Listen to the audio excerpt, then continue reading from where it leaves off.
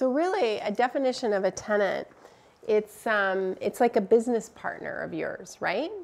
And every day, that business partner goes to your business, and they open up the shop, unlock it, they run it all day, and then in the evening, they lock it up again, look after it.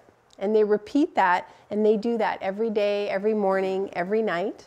And they run that business for you 24 hours a day, seven days a week, 365 days a year, right? And they pay the mortgage for you, they pay the utilities, and they pay the taxes of the business. And they do this for probably 20 or 25 years.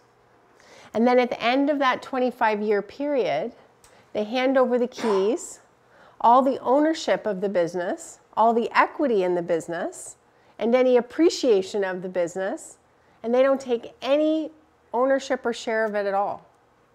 Right? Because that's really what a tenant is. Like they really are a business partner. Who can you have work for you, do all the work, not share in the profits, and you keep everything?